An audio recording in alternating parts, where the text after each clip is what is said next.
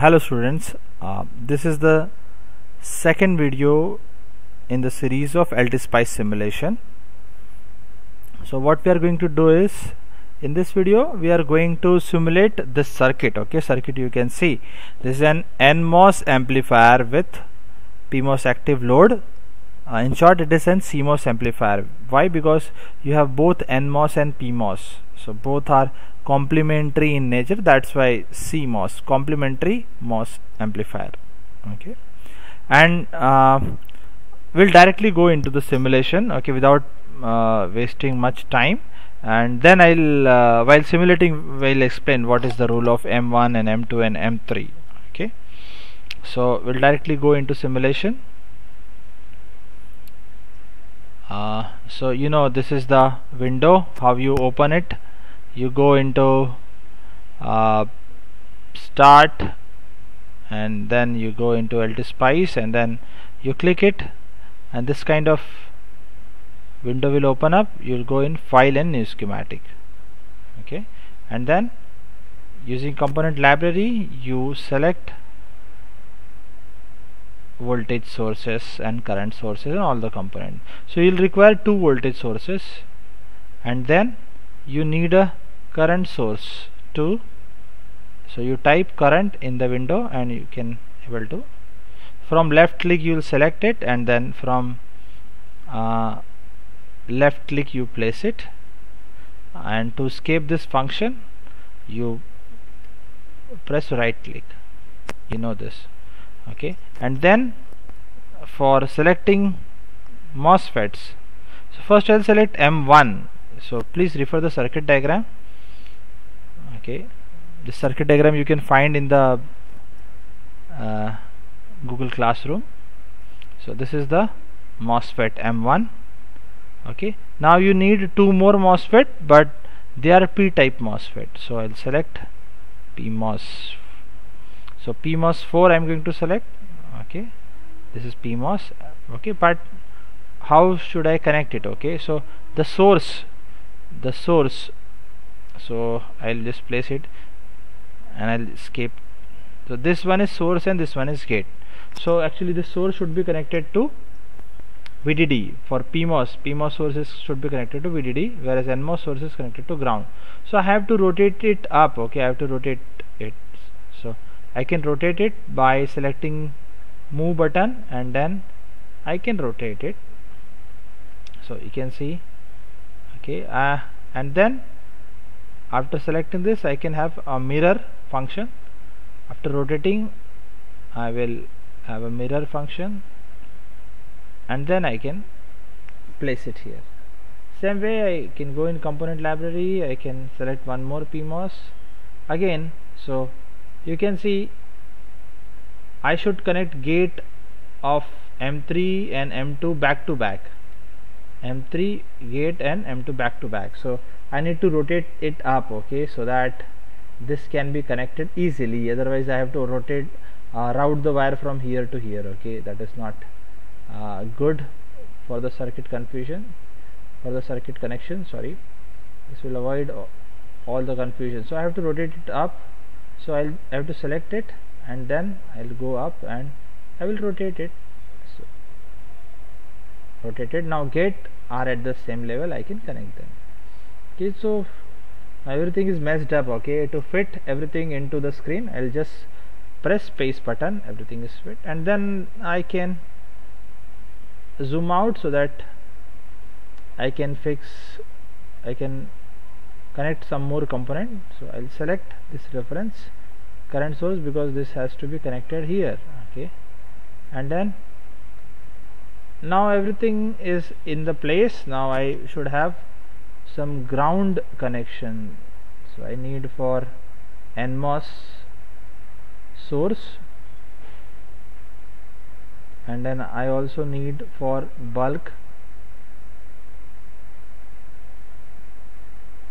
So I'll place it. Right click I'll remove it. Okay? Then I'll need some more. I need here. I need here. Okay? Where else? That's it. Then I need wires. Okay? So the wires for connection. So gate and gate are connected. Okay? And then source and source are connected together they are going where? Together they are going in the battery terminal positive terminal. Okay so this connected. Then this has to be connected. Okay then this point should be connected to gate of your PMOS okay and then your bulk should also be connected to VDD isn't it bulk. So bulk of NMOS is connected to ground but bulk of PMOS is connected to VDD all the connection I have made the final connection. So you can see all the connection I have made. Okay? So so the entire LT spice simulation you can divide into two part. Okay? Three part sorry. Into three part. What I have done is uh, I have created a schematic okay? So your first step is you create schematic and then after that after creating schematic you have to set names and values component okay? For both the steps okay you need what? You need circuit diagram okay? And then when you set names and values of component and then uh, in the second step you also do uh, you also insert model file okay? And after that third step is you apply suitable analysis so first step you have done with the first step we have created schematic. Now we'll go for the next step setting names and values of component and inserting dot model file. So how would I do it? Okay. So I know the name of this battery according to circuit diagram it is VDD and the value is 5 so even if you don't put the proper name okay then also it is fine for components. Why? Because uh, the names do not affect your circuit operations okay?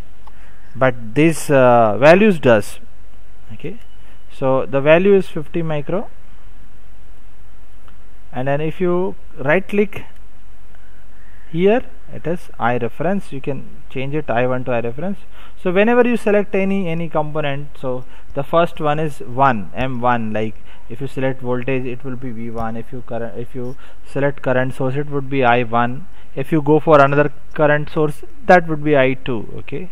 So i have set it okay? Then i will set the component uh, length and width of transistor the most important thing. So you have set it. So for all the transistor I'll fix it. 10U to 50U okay, 10U to 50U sorry you have to the windows are different. There are many windows. Okay you should choose the right window.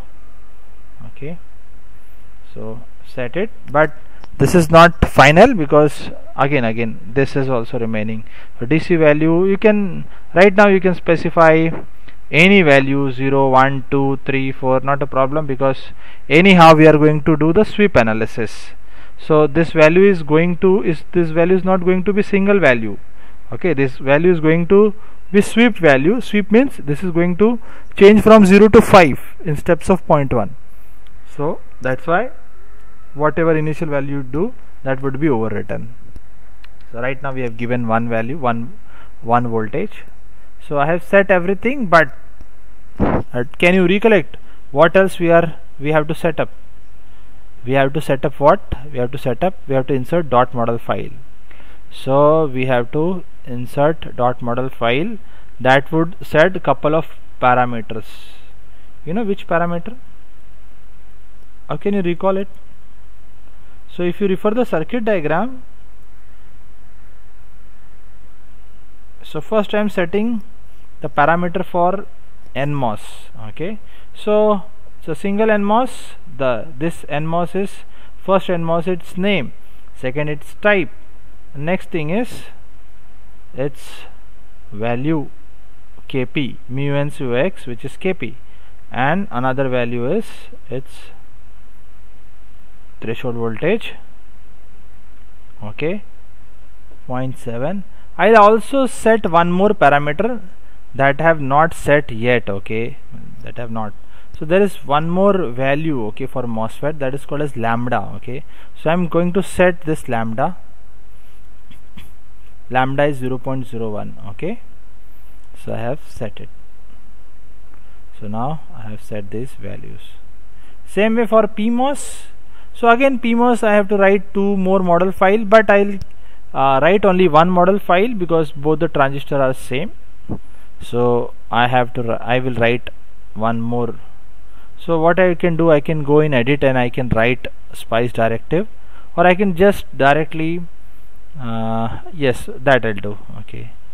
I have an option of uh, in uh, Windows I have an option of uh, clicking this and putting a control M and starting from new model file. But this uh, option is not available with window. Okay I cannot do like that. Okay I cannot write in the same window. So that's why what I'm going to do is I'm going to insert one more spice directive. Okay. So this option is available in uh, Windows LT Spice but not in Ubuntu LT Spice. Okay that's why I'm writing the Ubuntu way. Okay the reason is uh, when you go for Ubuntu machines then you'll face a problem. That's why I'm doing like that. Okay so VTO is minus minus 0.7 lambda I can specify as 0.01 okay. So this is one more uh, one more parameter I'm inserting. Okay. So that is again so I have set it.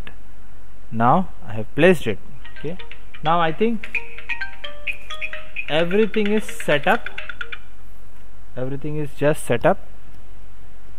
What I'll do is now I'll go for the simulation directly. So I'll simulate and I'll go for edit simulation command. So what I what I want to do in this in this experiment so if you go for circuit diagram then you will realize it okay what actually we have to do it. See you can see the circuit diagram. We have to do large signal analysis. What you mean by that actually we are changing this input. We are providing DC sweep. We are providing 0 to 5 voltage. And we are checking the output. Okay? So what we are going is what what we are going to see is change in V in and we are going to observe VO so this is best observed in this graph. Okay? So we are going to observe VO versus V in. So we are changing we are giving the DC sweep to one input and observing other output against it okay? So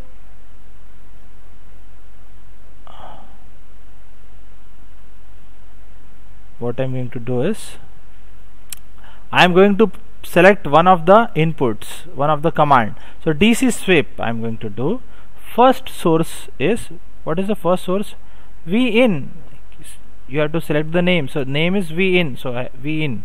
Type of sweep it's a linear sweep start value is 0 stop value is 5 and increment value is 0.1 so in steps of that there would be 51 v in values okay? Right from 0 to 5 0 0.1 0.2 till 5 so there will be 15 value.